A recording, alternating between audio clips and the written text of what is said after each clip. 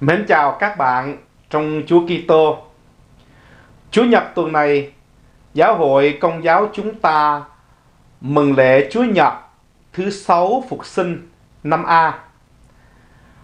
Qua bài tin mừng, Chúa Giêsu dạy chúng ta biết về mối tương quan giữa tình yêu, sự vâng lời và Chúa Thánh Thần. Chúa Giêsu đòi hỏi nơi chúng ta trước tiên sự vâng phục hoàn toàn.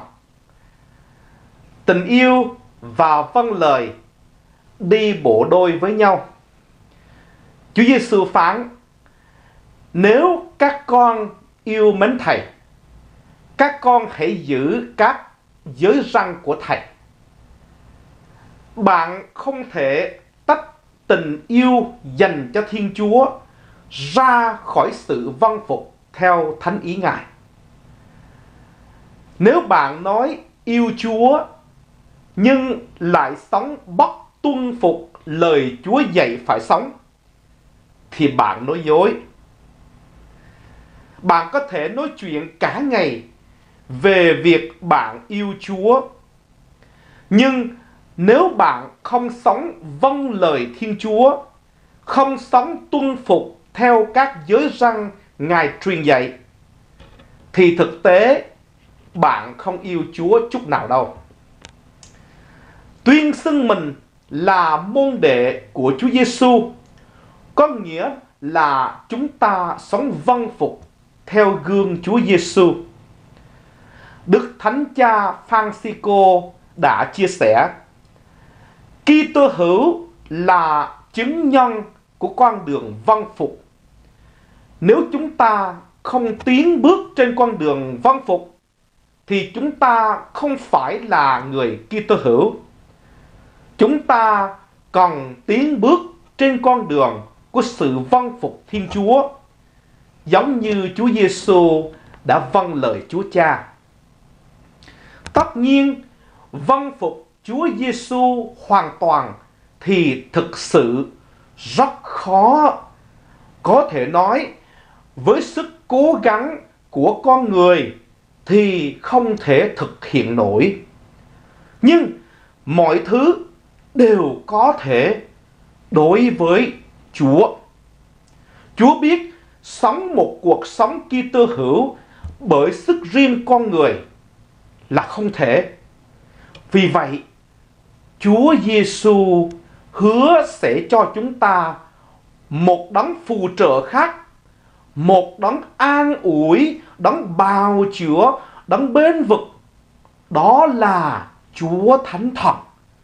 Đấng đến bên cạnh để giúp chúng ta có thể sống cuộc sống Kitô hữu. Chúa Thánh Thần ban cho chúng ta sức mạnh siêu phàm, không nhất thiết là về thể xác, nhưng về tinh thần và linh hồn. Chúa Thánh Thần là nguồn động lực siêu nhiên giúp các Kitô hữu làm những việc tốt lành.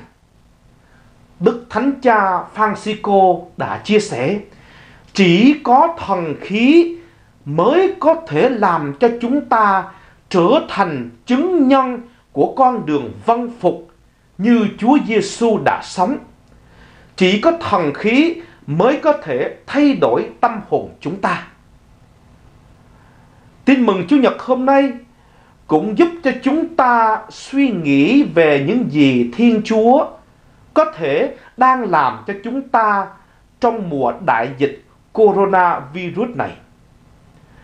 Những gì Thiên Chúa làm trong cuộc sống của chúng ta là muốn làm cho chúng ta trở thành môn đệ chân chính của Ngài. Ngài sử dụng từng hoàn cảnh, Ngài có thể tạm thời lấy đi mọi thứ ta có. Ngài đặt chúng ta vào tình huống không thoải mái. Ngài đặt chúng ta vào tình huống không kiểm soát được và không thể thoát ra để giúp chúng ta loại bỏ những thói hư tật xấu của bản thân và sống hướng thiện quy hướng về Chúa nhiều hơn. Chúa Giêsu đã chỉ ra rằng muốn làm môn đệ của Ngài thì ta phải chết đi cái cứng đầu, cứng cổ và bướng bỉnh của mình.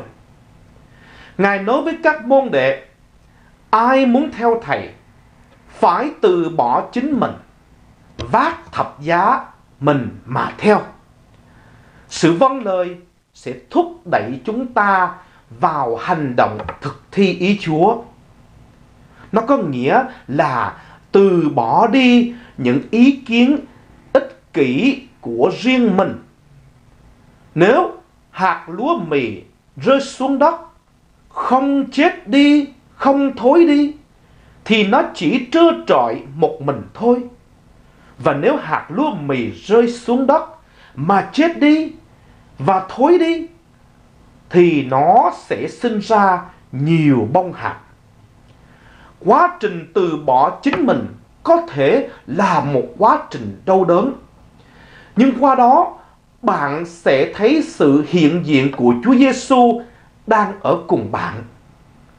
Chúa Giêsu nói rằng Chúa Thánh Thần sẽ là sự hiện diện của Ngài với các môn đệ vì Ngài sẽ không rời bỏ chúng ta như những đứa trẻ mồ côi mà sẽ đến ở với chúng ta mãi mãi.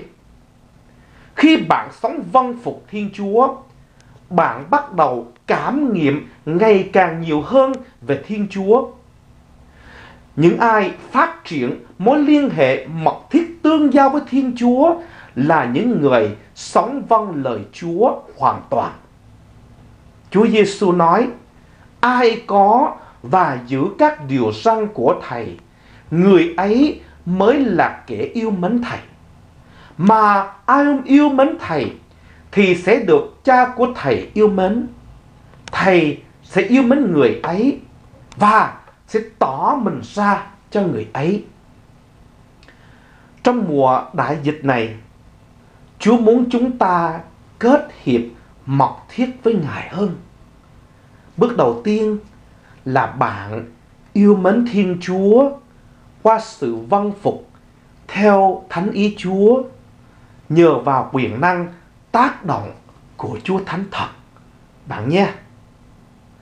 Lạy Chúa Giêsu, xin cho chúng con biết giữ giới răng Chúa truyền là thực thi điều Chúa muốn. Đó là sống yêu thương như Chúa đã làm gương và mời gọi yêu mến Thiên Chúa hết lòng và yêu thương tha nhân như chính mình. Xin gửi Thánh Thần Thiên Chúa đến với chúng con để Ngài biến đổi chúng con trở thành những chứng nhân của đời sống văn phục. Nhờ đó, con có thể thực sự là một Kitô hữu. Amen. Cảm ơn toàn thể các bạn đã lắng nghe lời Chúa. Nguyện xin Thiên Chúa toàn năng luôn gìn giữ và tuôn đổ muôn hồng ân xuống trên các bạn và gia đình.